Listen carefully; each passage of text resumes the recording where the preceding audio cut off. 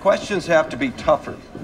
They have to be able to square their campaign rhetoric with facts. They have to be stopped when they're not answering the question, and they have to be called out when their answers contradict the facts. Guys, get in place. Our job is to find the two candidates who'll give the voters the best competing arguments, and I don't believe we're seeing that. We have to put the candidates on a witness stand. Would you have them swear an oath? Just let them do it. Baseball players testifying about steroids in front of a House subcommittee are subject to perjury. I don't know why presidential candidates aren't. But I'm not reaching for the stars, I'm reaching just an inch high.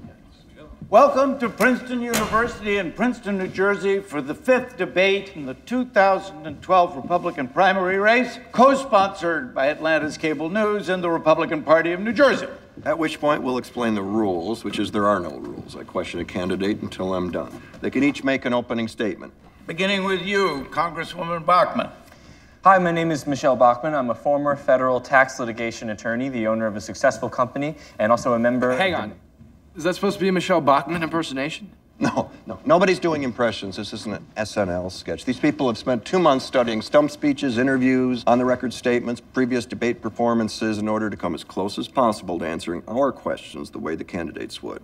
After the opening statements, we'd move to questioning. Senator Santorum, you've said that your campaign is about freedom and that 20 years from now, you don't want to be telling your grandchildren how America once was free. Name three freedoms you had the day before President Obama was sworn in that you don't have now.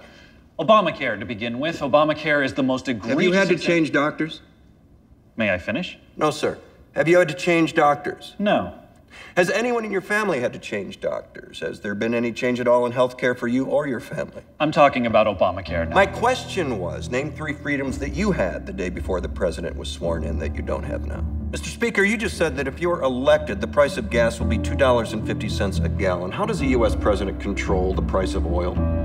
Governor, you've said that as president, you will never apologize for America. This question's in two parts. Name an instance in which the president has apologized for America, and can you imagine no instance in which a U.S. president should apologize for America? Mr. McAvoy, I find it reprehensible that the liberal media would try to pit Republicans against one another, and I, for one, won't stand by while it happens. This is the Republican primary, Mr. Speaker, and you're running for the nomination. It wasn't my idea to pit you against anyone, it was yours. Congressman Paul, I'd like to discuss the newsletters you wrote and sold starting in the 1990s. I've already said everything I have to say.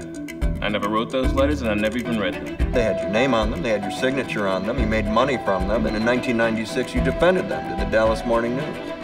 I don't like Stop. pretending. that- Everybody stop. There's no need to go along any further. I see where you're going. Adam, Listen, is there some place we can talk privately? take my office.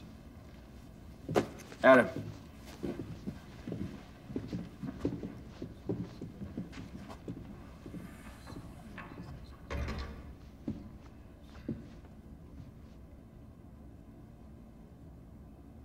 I think they really liked it.